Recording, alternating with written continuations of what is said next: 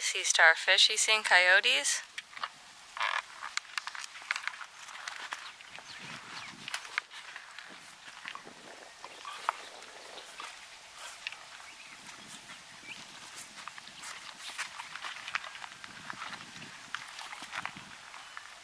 Both the camels are over here too, which they do normally follow me around, but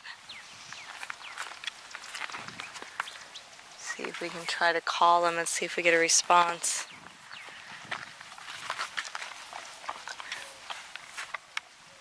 Ready, starfish?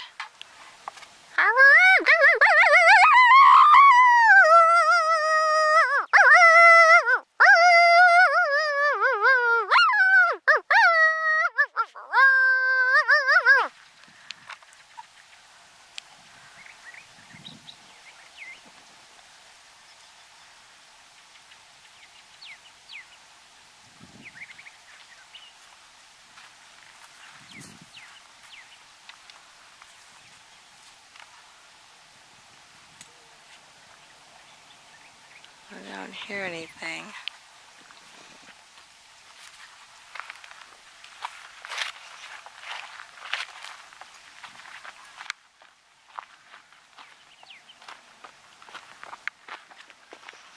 I'll walk down this corridor. This is the camel pasture here, and then I built it away from my other fence here so no one could mess um, with the camels and also allow the passage of other animals to go through without going into the camel pasture. Um, it's also helpful as a catch pen at the end. Um, if I were to walk this llama down, let's say I couldn't get the llama, then I can just stop and, and put a halter on him or what have you. So I'm between that corridor right now. This is the area that I have been seeing coyotes. And it's just good to do a check tonight, especially with the calf, even for um, dogs. Like I said, those dogs um, nearly got one of my sheep, and those were not coyotes. They were like Australian Shepherd or Heeler mixes, just medium sized, average family house pets, but there were four or five of them, and yeah. Do you see how that llama is kind of watching starfish to make sure she's okay? That's good. That's what I want her to do to, to keep an eye on dogs. Hi, babes. Oh my gosh, you're not baby, you're Nessie. You know, over the last two years, I've been confusing Nessie and baby more and more. I said, you, I don't know why. Are you still growing, Nessie? Because baby, I can say he's way taller. His hump is way taller. He's built more, he's built like an Australian camel because he's an Australian camel. That's what they look like. Um, Nessie is an African camel. She's a Moroccan camel. Like, built totally different. Baby even has curly hair. Nessie has straight hair. But I keep confusing them lately. I don't know. Starfish seems to give off her coyote patrol, and if I yip like that, as bad as my yipping might be, they usually do call back if they're in the area. We'll walk the llama down to the end of the safety corridor, and uh, I'm gonna go back inside for the night. I'm done out here a little early. Usually I finish everything just right as it's completely dark. Wait, listen, listen.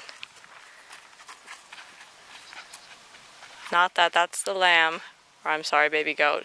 I usually raise sheep, so I'm very unused to saying goat or kid. This is actually the first kid I've ever raised, human or goat. But listen, if you listen really closely, you might be able to hear that's the water buffalo calling for me. They make a very unusual sound. They almost sound like an elk. Do you hear that? That's the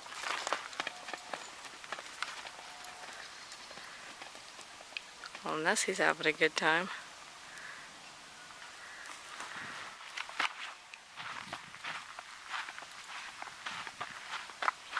So what I would do to catch this llama, and I have unusual practices with animals, don't really go by what books say. I go by what works for me, and I'm kind of, I guess you could say, resourceful.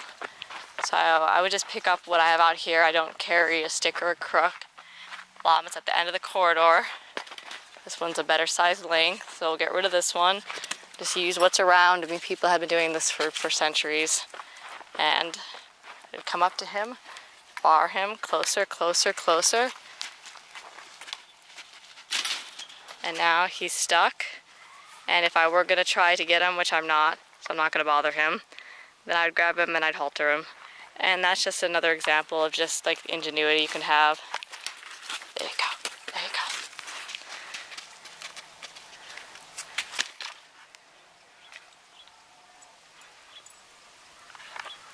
But if I'm not actually going to halter him and use him for something, I'm not gonna, you know, put him through that. Not that's putting him through a lot. Llamas are a little bit like cats. They, um, you know, once you have them, they're nice and friendly, but they kind of, you have to have them first.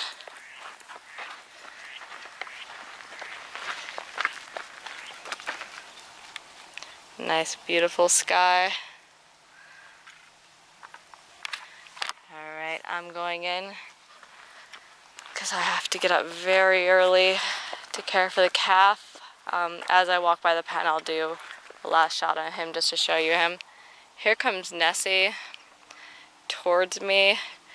Because it's wet and I smell like um, a buffalo, that she hasn't met yet, I guarantee you if I was to walk towards her now, she'd come running at me, bucking me off. Uh, that sounded like I said something else, but I didn't. So, you know, I'd rather not deal with that. So instead of going straight through this open area here and dealing with her possibly knocking into me, which I guarantee you um, she's kind of, in a way, faking me out by eating that. She wants me to walk past her. I'm always tempted to do it to show you. Here she's coming closer, but you know, when you're with an animal enough and you watch them enough, it's best to just just walk away.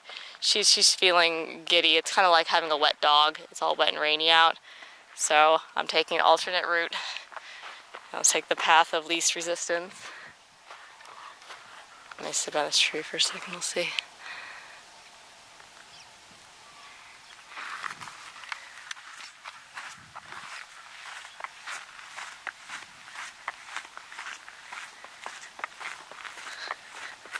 I'm bad. I can't resist seeing if she's gonna do it now.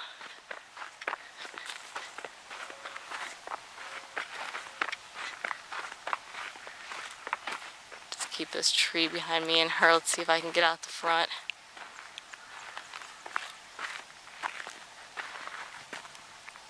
Oh yeah, she's definitely gonna do it.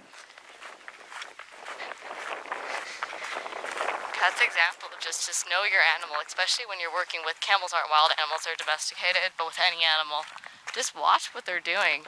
Animals are very, very smart. She wanted to have a little fun with me there.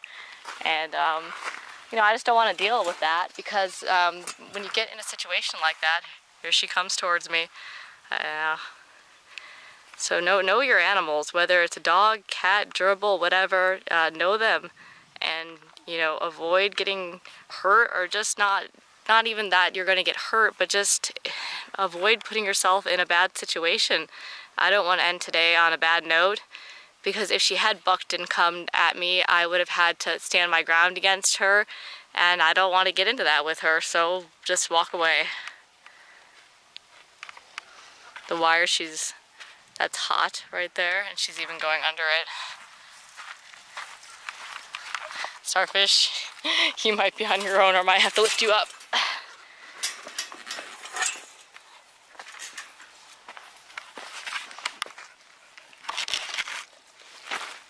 Come Starfish, I'm gonna rescue you. If you go through this, she's a, she'll run off Starfish too. She's just, it's just rained. We help the starfish over. There you go and Missy has always been a bit of a a bit of a bit.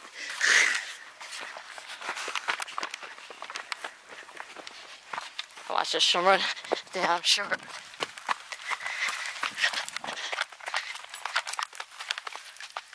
And that's what she would have done. She would have charged me.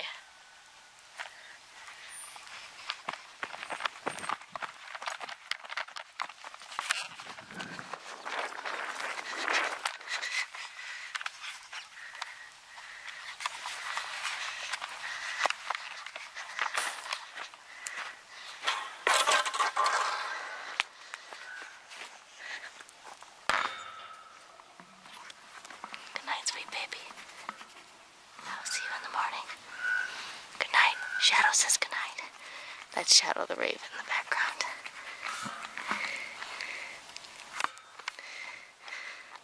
Let's go. Alright, goodbye. Thanks for watching as always. And if you have not subscribed yet, what are you thinking? Just subscribe. Look at this face. Subscribe to this face.